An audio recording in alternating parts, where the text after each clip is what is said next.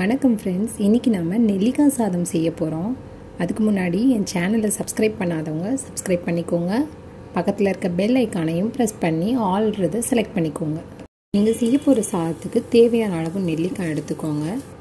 அதை சீவி எடுத்துக்கோங்க. நெல்லிக்காய் வந்து புளிப்பாக இருக்கும். அதனால் கொஞ்சமாக எடுத்தீங்கனாலே போதும். நல்லா சீவிட்டு ஒரு பேனில் எண்ணெய் எடுத்துக்கோங்க. தாளிக்கிறதுக்கு கடுகு உளுந்து கடலைப்பருப்பு சேர்த்து நல்லா தாளிச்சுக்கோங்க. தெரிஞ்சதும் வெங்காயம் தக்காளி அதோடு சேர்த்து நல்லா வதக்குங்க. சாதத்துக்கு தேவையான அளவு உப்பு சேர்த்து அதையும் சேர்த்து நல்லா கிளறி விடுங்க. கொஞ்சம் மஞ்சத்தூளும் காரத்துக்கு தேவையான அளவு மிளகாயும் சேர்த்துக்கோங்க. மஞ்சத்தூள் வந்து ஆப்ஷனல் தான். தேவைன்னா சேர்த்துக்கோங்க.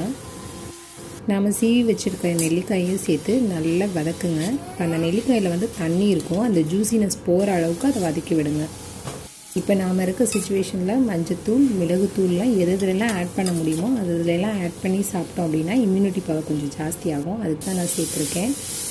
இது பார்த்திங்கன்னா தண்ணியெல்லாம் போய் கொஞ்சம் ட்ரை ஆகிடுச்சு இந்த ஸ்டேஜ் வந்தால் போதும். இந்த அளவு வதக்குனீங்கனாலே உங்களுக்கு வந்து அந்த டேஸ்ட் வந்து வந்துடும் அந்த டேஸ்ட் மாறாமல் இருக்கணும். புளிப்புத்தன்மை மாறாமல் செஞ்சிங்கன்னா தான் நல்லாயிருக்கும் இப்போ வந்து நீங்கள் சாதத்தை ஆட் பண்ணி கிளறலாம். கரெக்டாக இருக்கும். நீங்கள் அடுப்பை ஆஃப் பண்ணிட்டு சாதத்தை போட்டுக்கிட்டிங்கனாலும் சரி இல்லை பேனில் கிளற கிளற ஹீட்டாகவே சாதத்தை போட்டு கிளறினீங்கனாலும் சரி ரெண்டுமே ஒரே மாதிரி தான் டேஸ்ட்டாக இருக்கும். நல்லா மிக்ஸ் பண்ணி விடுங்க. சாதத்தை வந்து நல்லா உடச்சி விட்டு மிக்ஸ் பண்ணி விடுங்க. எல்லா பக்கமும் நல்லா மிக்ஸ் ஆனதுக்கப்புறம் கொஞ்சமாக கொத்தமல்லி தழையை வந்து நல்லா பொடி பொடியாக கட் பண்ணி அதோடு ஆட் பண்ணி விட்டு அதையும் நல்லா கிளறி விடுங்க. அவ்வளோதாங்க சிம்பிளாக ஒரு நெல்லிக்காய் சாதம் ரெடி ஆயிடுச்சு. நீங்களும் உங்கள் வீட்டில் ட்ரை பண்ணி பாருங்கள் இது பிடிச்சிருந்தால் லைக் பண்ணுங்கள் ஷேர் பண்ணுங்கள் நன்றி.